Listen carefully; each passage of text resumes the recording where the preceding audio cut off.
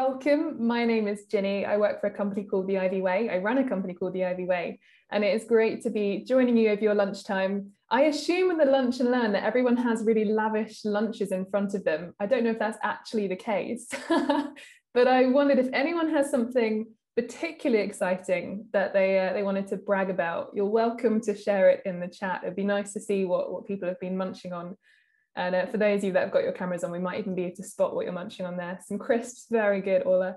I've just had some reheated risotto, so not a bad lunch for a Tuesday, but it is really nice to, to have all of you guys join us. And if you are just joining now, if your audio is just connecting, then we were saying that it'd be really nice to see some people's faces. So if you were able to turn your camera on, I know some people are, um, are on walks or various other things, but if you can, it'd be so nice to see. Thanks, James. Lovely to see you. Thanks, Ronan um, it's much nicer speaking to a sea of a sea of faces rather than to blank screens. So if you can, then that would be absolutely wonderful.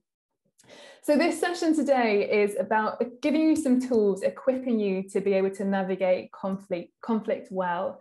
And you might have joined for various reasons. Maybe this is a topic you're really interested in. Maybe when you hear the word conflict, there's there's something about that that makes you want to learn a bit more, or you're kind of intrigued in, by some means.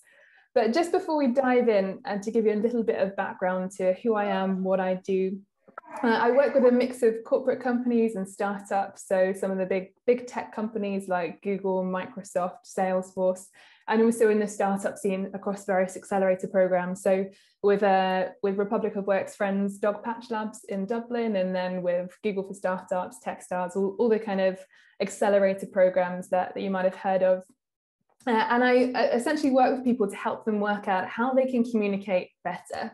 What are some of the habits or techniques that get in the way of them being able to communicate themselves well?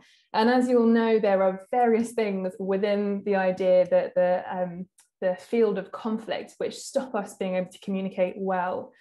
So first of all, I'd love to hear, and I know the chat's kicking off already, so I'm keep, keeping an eye on it for you.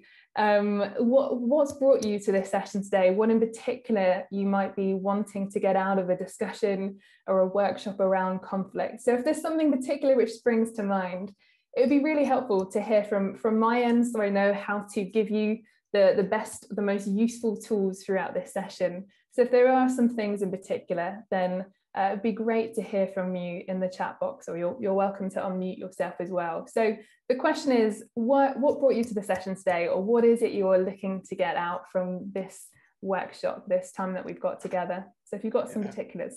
Terence, you look like you're about to speak, go for it. Yeah, um, I'd like to find out about the conflicts and how you resolve conflicts in the workplace, and I'm trying to get some facts out of it. Great. So quite specifically in the workplace then and getting some facts to help with that. Yeah. Lovely. How about for other people? Um, Elena's just sent into the chat box to say she has an interest in all aspect of communications. Mm. And Aurelian said she's interested in communication and the giraffe language. Mm. And Sil Sylvia has said she wants to manage to be assertive but not aggressive. Mm, lovely. Some great things in the chat. Yeah, as we said at the beginning, feel free to use the, the chat function as well. Um, I love that phrasing, being assertive but not aggressive. I think that's probably something that people almost uh, exposes a bit of a fear that sometimes we have of when we're in conflict coming across in a way where we can really say what we think, but without inflaming the conversation and things getting worse. So my next question for you guys, oh, it's another one that's just come up from Elizabeth. Conflict management um, important in the world of remote working? Yes, absolutely. What you might realize, which you, you would have realized across the last year, is we see this much of each other. I see from the top of your head down to your chest bone. There's not a, there's not a lot that you can pick up, or there's definitely a lot less that you can pick up when you're speaking to one another in this format as you would be when you were physically in, in front of people there's lots of things about virtual communication that get in the way of really clear, effective communication. And I think there's been some, some additions in the chat as well around the idea of assertiveness. Oh, Ola, you've got a great suggestion here. So I'm just going to read that out as well. So working with strong personalities where there's some clashes and communicating without escalating the situations. Great. And if there's anything else that comes to mind, feel free to drop it in the chat. I'll, I will try and answer any questions that you have as well, but I'll, I'll also make some time to do that at the end. All right, I wanted to do a quick exercise with you guys, if that's okay. I've heard you guys are pretty up for doing things for kind of it being a bit interactive. So this is this is really not anything weird or too too wacky. So don't don't worry. Um, but it's just just to kind of get you thinking a bit about the, the communication that's needed in uh, in conflict. So it's it's a really quick game, and all it is is counting to 20. Okay. So the idea is that one person will start and say the number one. So Orla, you're going to be my number one because you're sort of in the center of my screen, so I can see you really easily.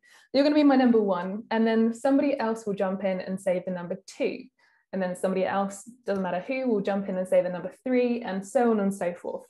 And the idea is to try and get to the highest number possible. But when two people say the same number at the same time, then we reset back to one again. So relatively simple concept, maybe something you played even as a child. So not too hard to get, but Orla will always say number one. You're also welcome to join in with other numbers as well. But and then somebody random, doesn't matter who will take on the number two, three, four, etc. Don't uh, don't try and work out an order. It's, it will probably change each time. I know some groups I do this with try and try and uh, chat, have like a secret conversation in the chat about what the order is. So that's that's called cheating. So you're not allowed to do that. But uh, do you want to have a go at this? Let's see how it goes. All right, if you've got food in your mouth, then don't worry, you can finish chewing for a second. Orla, why don't you take it away for us as our number one then? One. Two. Three. Oh, Oh, I think there was two people on number sorry, three. one. Two. Oh, I think two people were on number two again. So we'll start again. one. One. All is always number one. So if you're jumping in on number one as well, keep it quiet for a moment. All is number one, and then you can jump in after that. Okay, one. Two. Three. Four. Five. Six. Seven. Oh, okay, we got high there. I think two people said the number seven. So we'll start again. One. Three. Four. Five. Six. Seven. Eight. Oh. That was good though. Let's try one more time. One.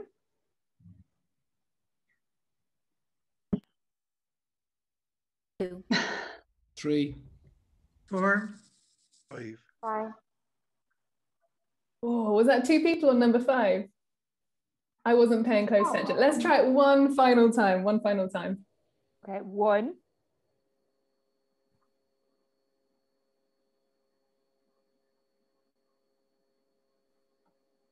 Two.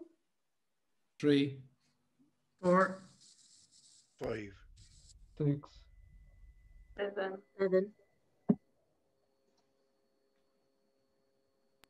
Eight.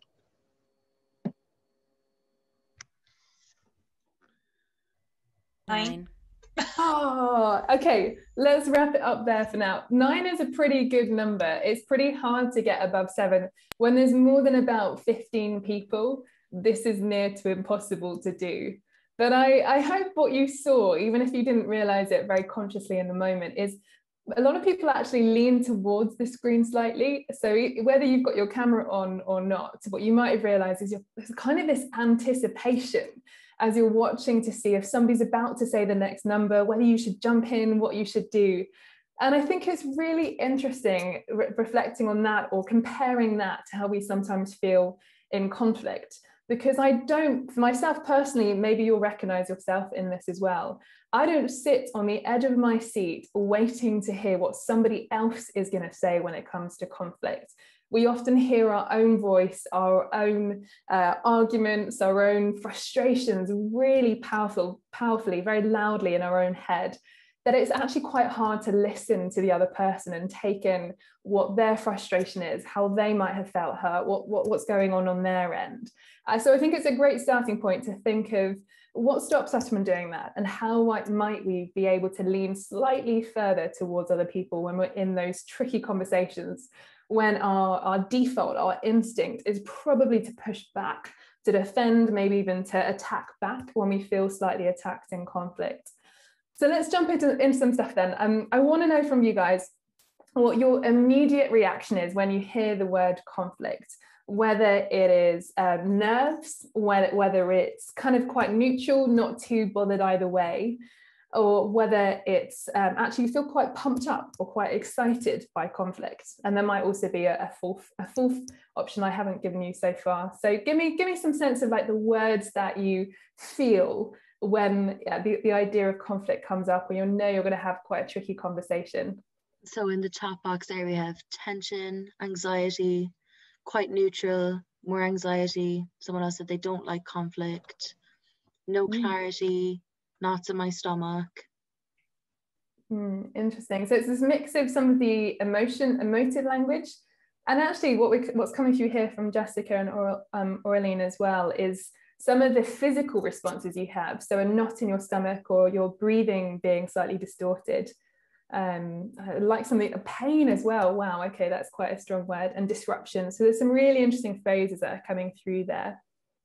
And as I said, I want to try and get, give you some technique which just um, enables you to try and, and have a sense of control as you move through conflict and try and manage because these are strong emotions right and we're going to look a little bit as to why why these happen what's going on inside your brain which leads you to feeling really overwhelmed maybe even physically responding to what's happening so i'm just going to share some some slides with you um, in a second so let me just get those up for you um, give me one second while it's loading.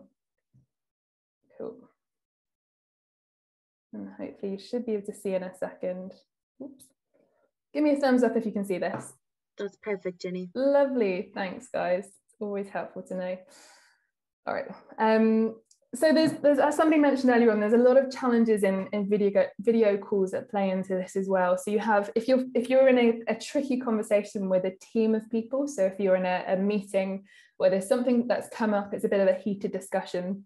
Uh, one of the things that happens, which wouldn't happen if you were physically in the same space, is you're looking, you have this real tunnel vision in terms of your eye contact, where you're looking, being in one place on your screen, or one, one, you know, one uh, just ratio of, of space. But often your, your brain is being challenged to try and pick up and decode lots of different people's behavior all at once. So in times gone by, or back when we were all physically together, if somebody was about to say something, you would hear them breathe. And so you would know to, to hold what you were saying and let them do so. But as we've just seen with that 1 to 20 exercise, it's really easy to speak on top of each other and for, for conversations to get quite um, quite messy and for the information to get lost within that as well. And some of the body language that we used to pick up on, you could tell if somebody was frustrated because maybe they had their arms crossed in front of their body, or you might have even been able to sense their breathing getting slightly heavier or, or seeming like they're slightly short of breath or whatever it might be. That's also really hard to pick up over video calls because sometimes people are on mute until they speak. So you don't really get a sense of some of those behaviors that informed how we were to respond. And it's worth saying now, conflict isn't always that kind of really dramatic, absolutely fiery conversation that happens. It's, the, it's defined as a struggle or a disagreement between two or more people. And that could be something quite small. There's, if you think back to your last week, whether that's in a work context or um, at your in your home, your family life, there are lots of small frustrations or struggles that you have, and a lot of them pass you by, but some of them really get to you, and you might respond to those in particular because of how that's um, that's made you feel or how um, or what that's done to you. And there's a great definition of conflict. This is by somebody called Nate Regier, who's written some brilliant books on conflict. And he says that conflict exists when there's a gap between what we expect and what we experience. So an example of this might be, it's totally hypothetical, I'm sure this has never happened to any of you, never happened to me. You might expect at home uh, your partner to unload the dishwasher. Totally expect my husband will unload the dishwasher. And when I, what happens, what I experience is that doesn't always happen. So there's that gap that in between the two. And yes, that's a really trivial example. And there's, there's many others you might be able to think of where there's actually something a bit the stakes are a bit higher and there's more to play at james thank you it's definitely a classic one um, but there's, there's there's there's that gap that exists when what we would like to happen and what has actually happened isn't quite the same, and that causes a real frustration. So just take a second and have a think for me about something in the last week, maybe in the last couple, which, if you look back, you can see that what actually happened, what frustrated you, and what you expected to happen or would have liked to happen were quite different. And the reason I want you to think about this is in a conflict situation when we're trying to navigate a really tricky conversation, we're normally very good at communicating what we what actually happened. You didn't unload the dishwasher, or you emailed me way too late in the day for me to see that, or you know, you're always late to meetings, you're really late to this meeting today. And what we don't always acknowledge or are able to articulate as well is what we expected, what we would have liked to have happened. So just take a second to think. You don't have to write it in the chat, but just just for yourself of a, a moment in the last couple of weeks where you experienced this. What happened and what you would have liked to have happened were quite different. And later on, I'm going to show you a framework where you can articulate that really well. This, this difference between the two, the gap between the two, which sometimes comes through in more explosive language, but there is a way to navigate that uh, in a slightly better way. So as you'll know, there are lots of different responses to conflict. Some of you have uh, identified them already when I got you to talk about the different emotions that you feel. But there's also the, the, the, four key, the four key responses that we have to conflict are fight, flight, freeze, or rollover. It's quite hard to say actually, there's a lot of F's in that. So the fight one, this is the classic, I think somebody actually did say they feel um, not excited by, by conflict, but sort of ready to go. So, if you think about your natural response to conflict, some people are actually quite ready. They get the adrenaline kicks in, and what they feel is, okay, I'm, I'm ready to go into battle. I know what I'm going to say. I'm feeling pretty pumped. This doesn't mean this is always a, a good version of fight. Sometimes somebody might go in all guns blazing and it looks really messy and goes completely wrong. But fight might be one of your one of your instincts. The flight is where, at the sniff of conflict, you just want to get out of there. As soon as you sense that something could get tricky, you tend to try and leave the room, leave the conversation, whatever it might be. Freeze is where you actually might stay and try and have that conversation, but all of your thoughts feel like they have disappeared from your mind. And when you try and string together a sentence, you think or you hope that it's going to be really, really coherent but actually it comes out in a bit of a jumble or you really don't know what to say.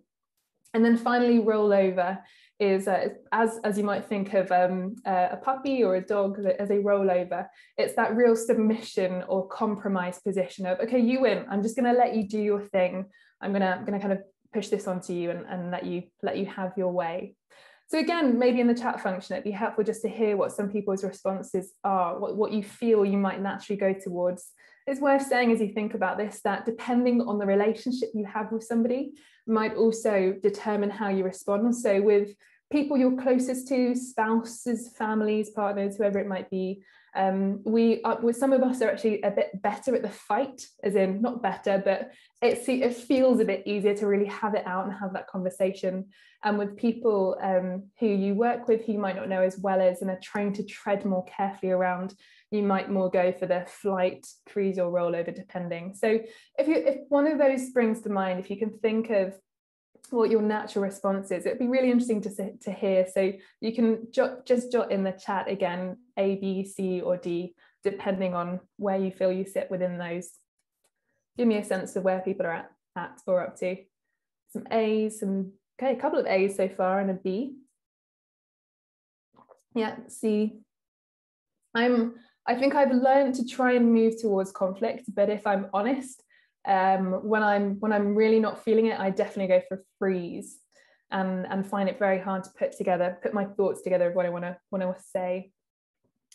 Uh, yeah, all of this is interesting. Sometimes I react differently with all of these depending on the situation. I think that's very true, but mostly B or C.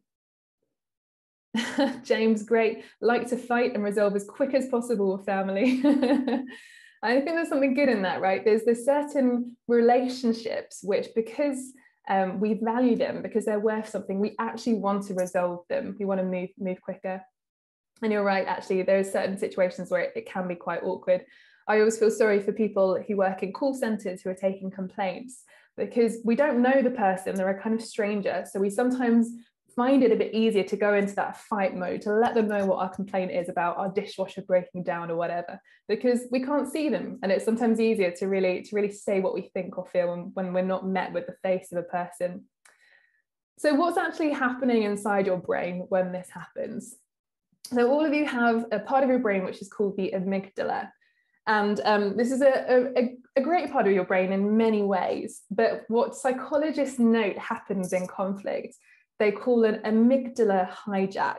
So the amygdala is um, quite a temperamental part of your brain. It's part of the limbic system. So that's often otherwise called the lizard brain. So quite a, a very old um, primitive structure that back in the times where we were living in caves where we needed to be able to fight physically fight really quickly this would fire into action this would detect threat and be able to um, to give you what you needed to kind of tool up to be able to deal with what is in front of you but the problem with this with the fact that our amygdala this part of our brain fires up and kicks into gear is that um, society's evolved quicker than this part of our brain in some in some ways so uh, and our brain responds in the same way as if a, a tiger were to walk into your room right now.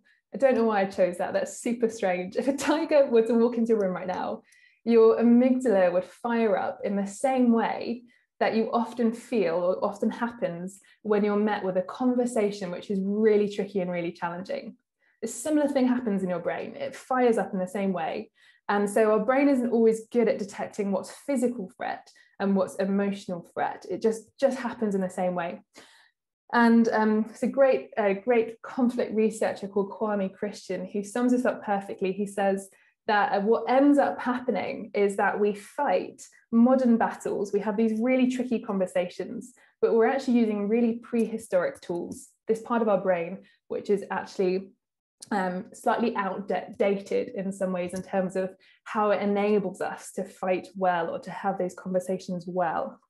So, how do we move from this? Because this sounds like quite bad news. We've got this brilliant part of our brain, but it fires up and it actually often makes us respond quite emotionally, feel quite overwhelmed, and some of those physical responses that you mentioned earlier on.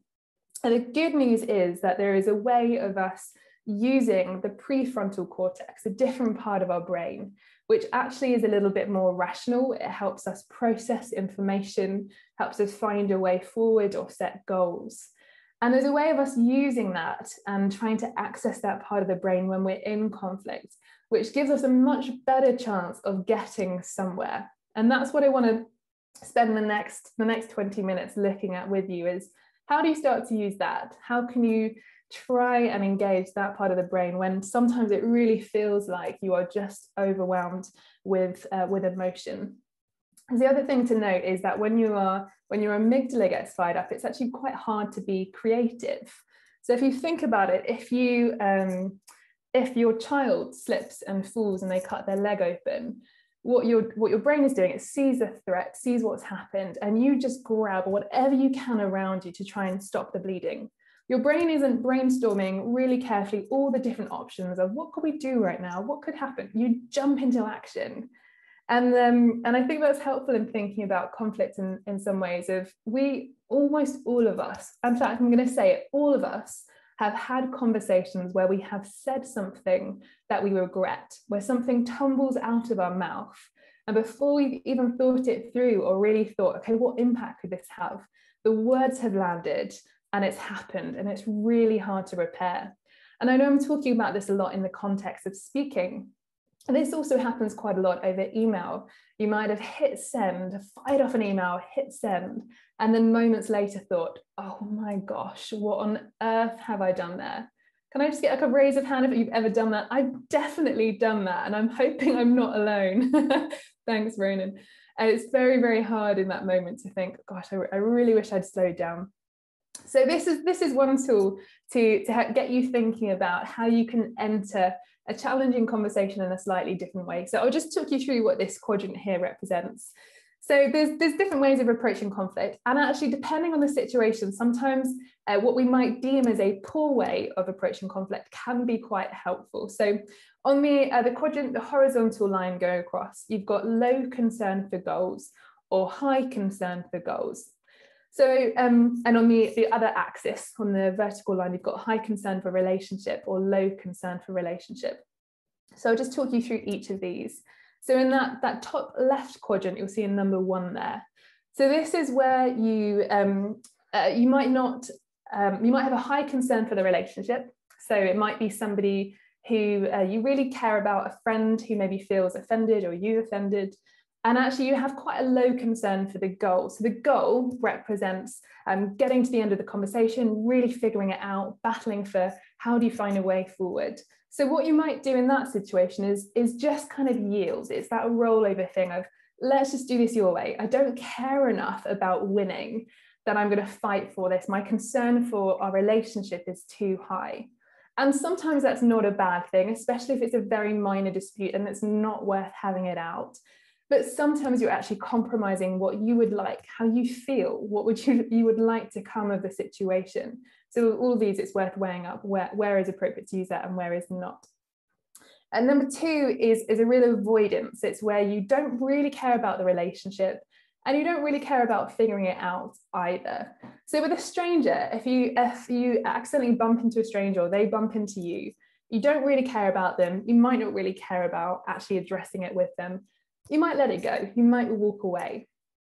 But if it's actually a relationship or if it's um, something that is uh, is worth looking into if somebody has offended you and you would actually like to have that conversation you probably wouldn't want to sit in this axis because you won't get anything done and there's not much care for the relationship there and how to move through in a sensitive way to honor that either number three so that's in the bottom right quadrant there is where you have a really high concern for goals but don't really care about maintaining the relationship so this might be where you see quite an aggressive response. Somebody is very keen to tell you exactly how uh, they felt, how you have offended them, and what you're gonna, what needs to be done to fix this. And what you'll see there is that you often get quite trodden over because there's very little room for you to be listened to and for your opinion to be heard. So this is quite a quite a negative way of responding in, in conflict when you just want to want to say your thing and move on and maybe don't really care necessarily about um, the feelings of the other person and maintaining that relationship so really where uh, where you want to aim for ideally although there are some situations where the others are helpful is number four where there is high concern for both the relationship and finding a way forward of resolving resolving this together it's that piece where you consider the other person's opinion. It's not about completely compromising and just going, okay, let's just do this your way. It's trying to collaborate with the other person. Right at the beginning, when I was showing you the definition of conflict, I was I described it, or the dictionary describes it as a struggle between two people. There's often this energy in conflict, which is that struggle energy, where you're really keen to try and explain how you have felt hurt or what's gone on. And the idea with this number four, this, this concern for the goals and the relationship, is to try and struggle together, to try and figure it out. And that doesn't mean it will look really seamless and really beautiful. It often looks quite clunky and all over the place because it's conflict and it's hard and it is often quite messy. So I want to show you a couple of ways that you can do that. And by the way, if you've got questions as you're going through, please drop them in the chat. I'm very happy to answer them. So one of the, the best things you can do when you are in conflict, but also the hardest, and I'm speaking to myself here as well, is to listen, to take space, to actually try and hear what the other person has to say. And the reason that's tricky, as I said at the beginning, is because you have your own voice, your own frustration banging really loudly in your own head. All of the, the things that you would like to say become quite loud and actually your ability to listen to the other person slightly decreases. And you might even find yourself rehearsing what you would like to say as the other person is, is speaking to you, which definitely limits your ability to listen. Even if you think you're a good multitasker, you can think and, and listen at the same time. It will be much lower, especially in conflict when your heart is, is beating that, that much quicker. So one of the key things to do, which really demonstrates your, your desire to listen and your desire to try and find um, curiosity, some clarity from the conversation, is to ask questions, to try and find a way of actually saying, do you know what, I want to hear what you have to say. And one of the best questions, which applies to quite a lot of different tricky conversations, challenging conversations pieces, is what is your understanding of the situation? What do you understand happened? What do you think happened from your perspective? Not in a pointed way, not because you can then you can then uh, refute everything they've said in your comeback, but as a way of genuinely trying to understand what do you what do you think happened? What what did you see from your perspective? And it's that piece, as I said, of we often enter a conversation with a with a certainty of what we think happened, but it's trying to move to this place of curiosity, of trying to, to gain a bit of clarity of what they thought as well. Um, yeah, and I think, James, what you've said there is a great addition to this. It's difficult to be present when you have a lot on your mind. And there's some really practical things I want to try and try and sneak in and show you as well near the end of how to try and be present, how to take that breath, to try and take that step so you can actually hear.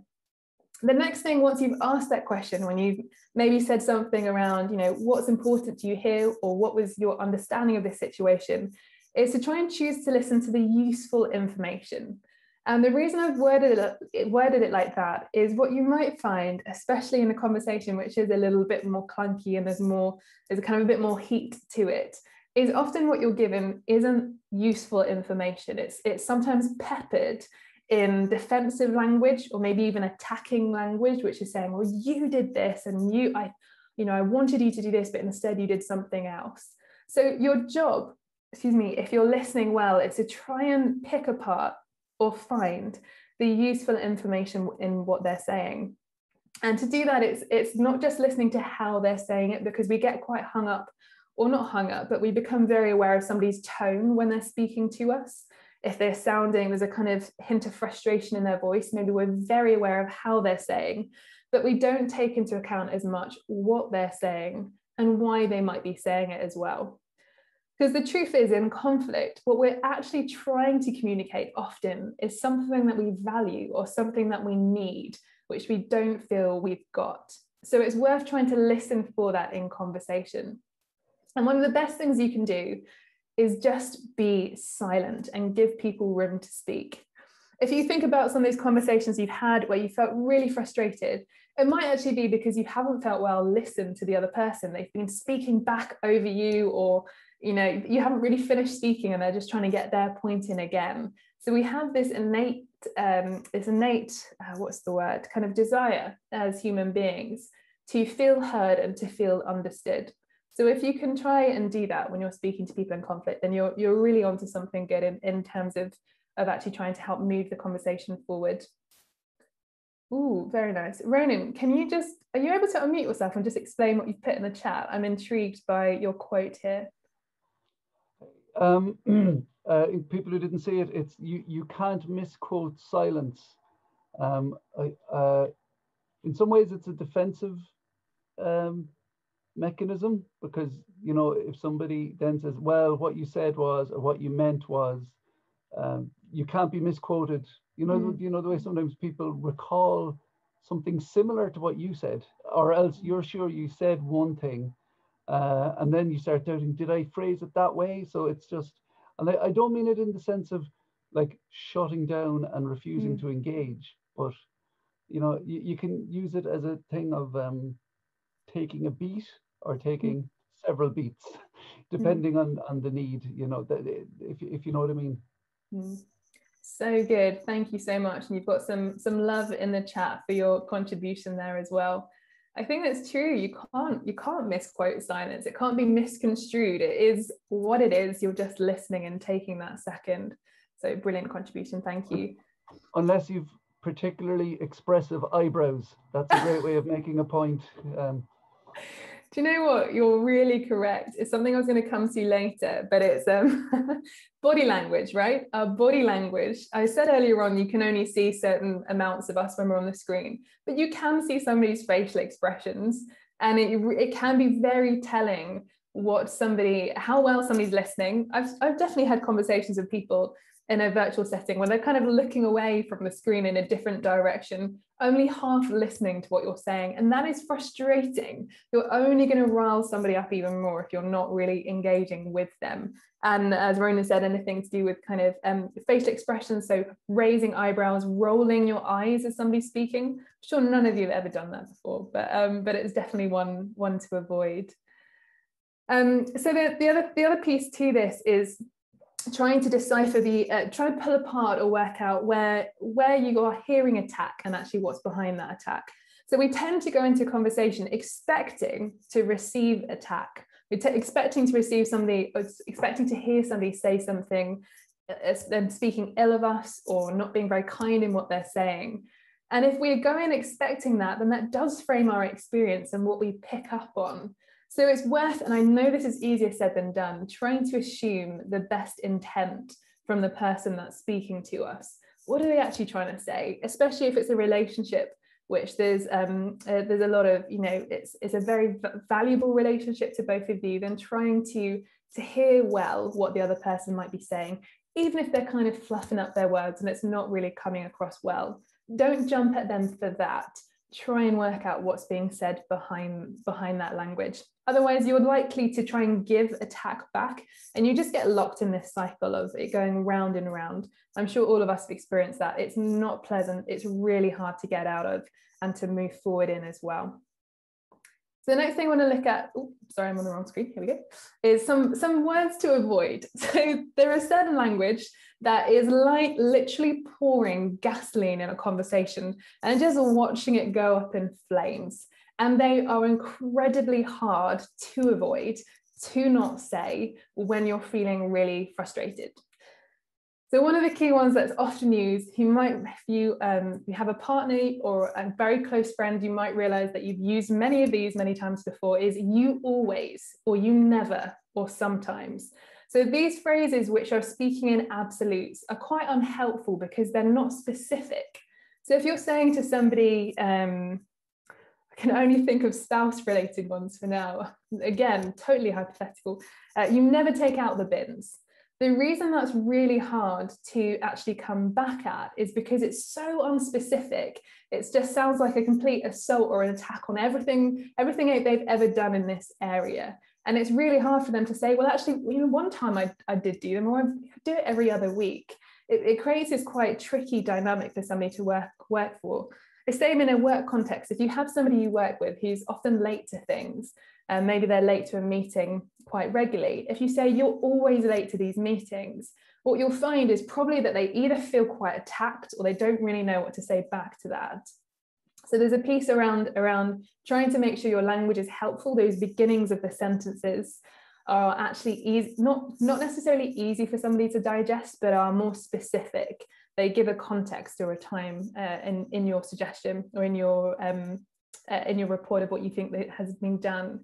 And things like you made me feel are not particularly helpful. So a phrase instead you could use is I felt X, I felt sad when when this didn't happen or when I didn't didn't um, receive that uh, you know maybe receive the email is a quite a weird one to feel sad about. I felt frustrated when I didn't receive the email as I'd asked you quite a few times across the last week.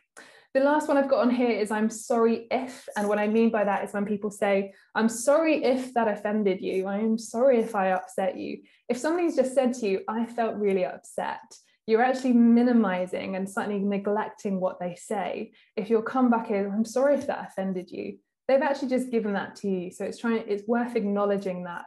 And where you can, if it feels right, apologizing for that, or at least saying, I hear you've just said you actually felt quite upset when when I did this or when this happened. So it's worth doing a couple of things is being specific with time and context. So if you do have a colleague who is often late, instead of you you're always late to these meetings or you never turn up on time, it might be um, on Monday last week and on Friday of the week before, I, I noticed that you turned up five minutes late to that meeting. Uh, and I wonder if you could be on time because as a company, we want to give off quite a, we want to give off a good reputation to our stakeholders when we are uh, having those meetings. So it's trying to trying to piece together, give a structure to that, which actually somebody can go, oh yeah, do you know what? I do remember being late on Monday and Friday, and I can hear now not just how you felt, but why you felt why you felt that frustration. because it's a very good phrase to use the word because because as a company you know we really want to value our stakeholders and turn up on time to things. I'm just going to jump to the chat because i can see a few things coming in here. Um, you can't agree with someone if they say i feel. Is that a question? Uh, you can't argue with somebody. Sorry, I read that wrong. Yes, you're right. So the, the lang- language piece to use there is around um, but changing, making sure you use the pronoun I as much as you can. How did you feel? Not just you made me feel, but I felt X. You can't argue with somebody. Um, Elena, you're completely right. You can, but it, it, you have a lot less grounds to argue with somebody if they're actually just um, communicating how they have felt for a certain situation. Uh, yes, April, let me come to that. So can you explain the sometimes phrase? So the sometimes, let me just jump back to the slide so everyone else can see as well. So sometimes is a slightly, um, a slightly less uh, explicit or absolute version of you always or you never, but it also falls into that category of not being very explicit, of not really giving much detail. So saying uh, you sometimes, um, uh, I've noticed you sometimes don't check your emails before you send them. If there's actually a specific thing you can point somebody towards, if there's a colleague who's often just making a lot of typos in emails, then saying, giving them an example, in this email you sent last week, I noticed there are quite a few typos. So it just enables somebody, you to have a, a, a valuable conversation where you can slightly move forward from that. Um, great. All right, so um, so I'm just seeing the anything else in the chat for now? No. If there's any questions I missed off as we're going through, because it's quite hard to keep control of the chat and the slides and, and look at your wonderful faces, then do let me know and I'll come to them at the end. So one of the one of the tools to point you towards is uh, how you can put your own thoughts together. And I think somebody was actually leading us towards this in the chat just then of helping somebody once you've listened, once you've asked questions, and once you've um, given them space to really explain what they're thinking or feeling, then comes your chance to say, okay, this from my perspective is, is what happened. So this is a great model. It's saying what you saw, what you see, what you felt, and what you need. And it's a really simple one. I'll give you an example in a second. So the first is around what did you observe?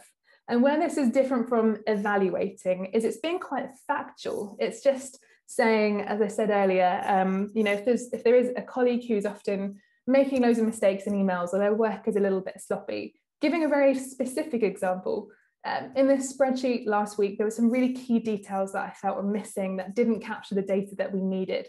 Giving some quite factual things rather than you're really lazy when you're putting, putting together spreadsheets, which is an evaluation of that person's character and much harder to try and come back on. Just saying what you saw, what are some facts you can give that person which aren't something necessarily that can be argued back on. They might want to justify themselves, but they're often quite clear as day what you saw. How you felt is important because I think it's something we find really hard to do sometimes. But as, um, as somebody mentioned in the chat, when we're basing it, when we're framing it and explaining from our own perspective of how I felt, I think there's something quite valuable, it's quite vulnerable as well, depending on the person that's in front of you, of not just saying what you saw, but how that affected you. And they they might have done it themselves and they're part of the conversation, which makes it a bit easier. But it's with that making sure it's the language of what I felt rather than how you made me feel. So uh, I noticed a few details missing from that spreadsheet that were really important.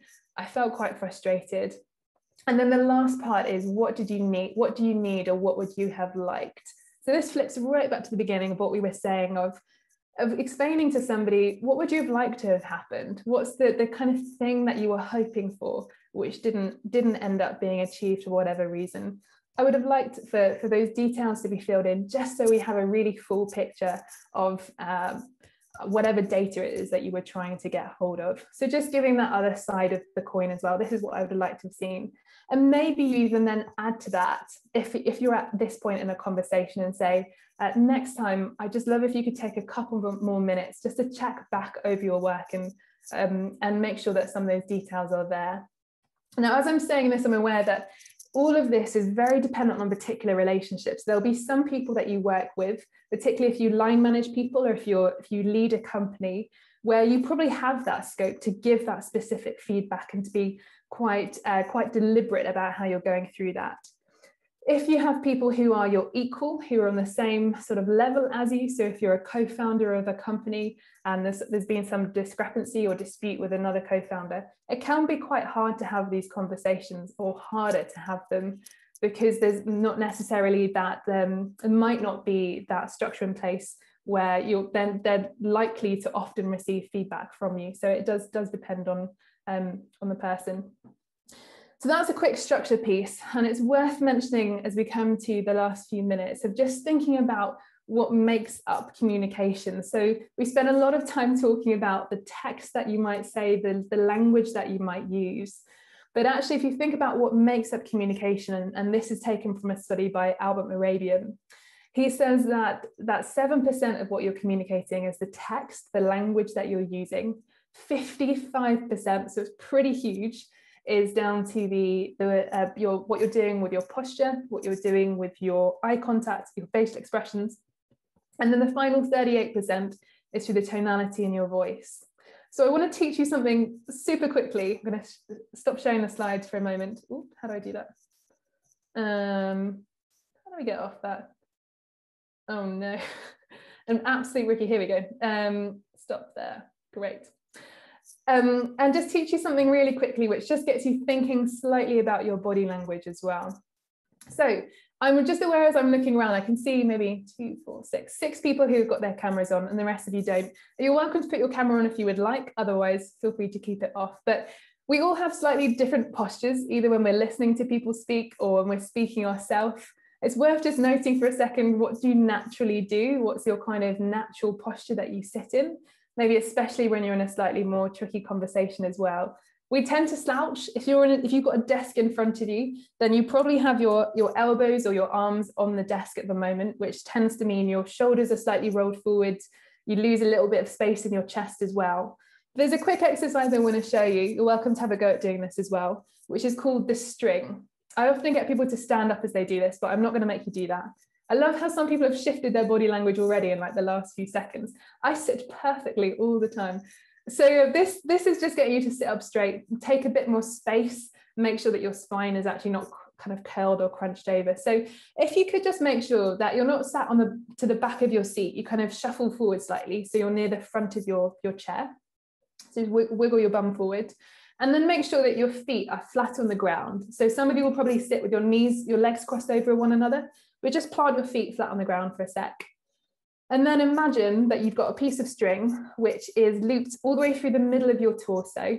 It comes up through the back of your neck and then out through the top of your head. So it's like a nice long piece of string. And then if you're feeling brave, you can copy me doing this. I want you to bring your arm above your head and imagine you're having to pull up that piece of string. Give it a go. You will look ridiculous together. So imagine pulling that piece of string, give it a tug. And as you do so, see if you can sit up slightly taller and then just bring your arm back down to your side again. If you're off camera, I'm just trusting you're having a go and not, not letting us all look ridiculous on camera here. It's great. So if you look around, my gosh, okay. So if you look at the people who have their cameras on, you will see a slight change in their posture. So Orla is suddenly just sat up incredibly tall. You can see this length in, in her neck as she's sitting there. Sorry to call you out, Orla. If you're looking at ever as well, it's suddenly that the shoulders are quite flat on the frame, slightly rolled back. It's just that sense of taking up slightly more space. And what you'll notice as well is you'll suddenly have a little bit more room in your chest to breathe when you're actually sitting up properly. This might be something to come back to it's a bit of muscle memory. It's really hard to do because naturally your body will try and go back to your normal, slightly slouched over position. But the reason I bring this up is because in conflict, when you feel that rush of adrenaline, or you're having that tricky conversation with somebody, you'll notice that your natural instinct is sometimes to take up slightly less space because maybe you're feeling nervous and our bodies tend to clench up and get a little, we get a bit cranky when we're feeling nervous. So it's worth taking a second, just sitting up properly, taking a few breaths so that you actually steady your breathing, give yourself some oxygen as you go into that conversation. And you'll find that you feel a lot more comfortable. Maybe at first you won't. A lot of people say to me, I feel really exposed sitting like this. It feels really tall and we're kind of a bit out of the ordinary. So it does take a little bit of practice, but over, over time, you will start to feel that bit more confident. All right, so we've got like two minutes left because I've got to jump to another training and not not too not too um, few moments time. But if you have any questions just as we come to land, I'd love to hear them. I'd love to try and answer them in two minutes. And if you've got any questions that we don't get to answer, feel free to to find me on LinkedIn or um, grab my email address off of Angie, and I, I'm happy to to answer any questions over over via email or LinkedIn